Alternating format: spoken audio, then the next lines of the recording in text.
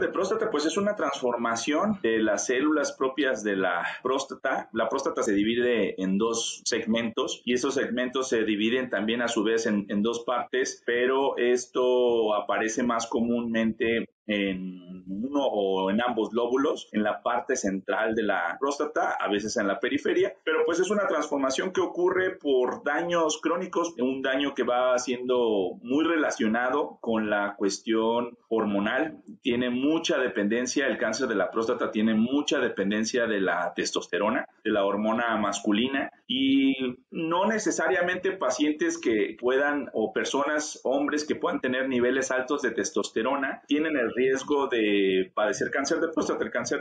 o sea, puede aparecer por un montón de cuestiones, cuestiones infecciosas crónicas, cuestiones inflamatorias. Lo que sí está bien relacionado, pues son las cuestiones eh, genéticas, las cuestiones, si hay cuestiones familiares donde haya habido familia de primera o segunda línea con cáncer de próstata o de mama o de estómago, son pacientes que pudieran tener un poquito más de riesgo de padecer cáncer de próstata. Pero pues el, el riesgo principal y, y, lo que nos tiene que preocupar es que el riesgo principal es ser hombre. O sea, el hecho de tener la próstata ya nos confiere el riesgo de padecer cáncer y por eso la importancia de saberlo y de al llegar a la edad, pues empezar a cuidarnos, porque al final de cuentas el órgano no se ve, el órgano no se siente, realmente las manifestaciones cuando aparecen, aparecen cuando ya la próstata tiene un volumen muy grande y empieza a ser compresivo y, afecta la micción, el ir a orinar, cambios en la, orina pero antes pues se puede prevenir para evitar llegar a un punto tan radical donde sea un cáncer avanzado, ¿no?